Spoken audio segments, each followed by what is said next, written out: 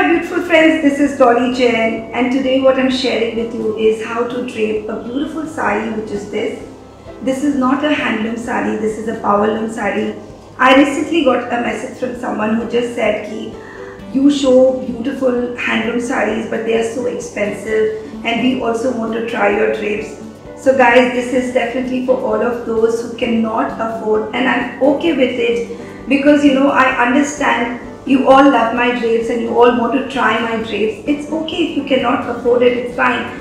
I'm going to show you something in a powerloom sarees and please try this and share a feedback and you know, I being a drape artist, my first love will always be a handloom sari but there's always a second love and my second love is a powerloom sari.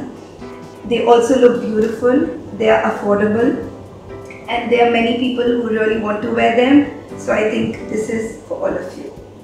So yes, I'm starting my basic tuck. This is my tuck and this looks so beautiful. Sari, it's like one of my favorite color, this green color.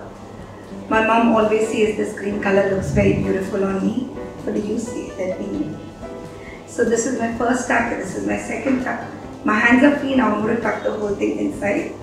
So after doing my second tuck, I leave a handful of fabric, that's this much, and I tuck this in here. Now I will start making my shoulder pleats. So take this here and we start making our shoulder pleats like this. Nicely, neatly, with all the love and care. And that is where we get all our pleats in place. You just need to bring them together and just see to it that they are equal. Okay? And that is it. So keep doing this and keep throwing it behind so you get all your this.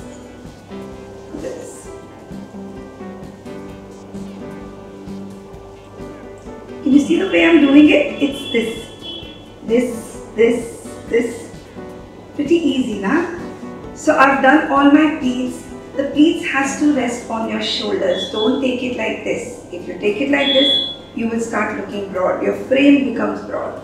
So try and shift it towards inside and also don't make too broad pleats. So see, this is appropriate here, okay? And I've attached a pin here just to hold the pleats. I've not fixed it up with the blouse. That has to be done as the finale thing, okay? After you've done that, just align all your pleats beautifully. See?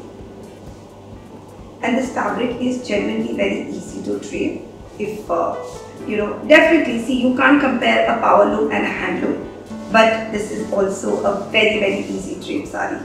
After this, what you can do is take this and attach a pin here with all the three fabrics together. So this is the pin. I've attached it with all the three fabrics and now I make my lower pleats. Okay.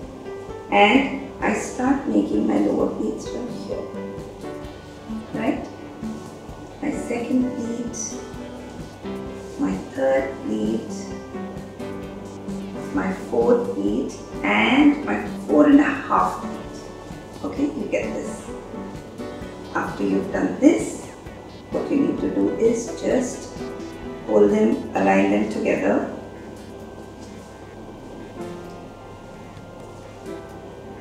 And once you dust them, see you get all your pleats in place.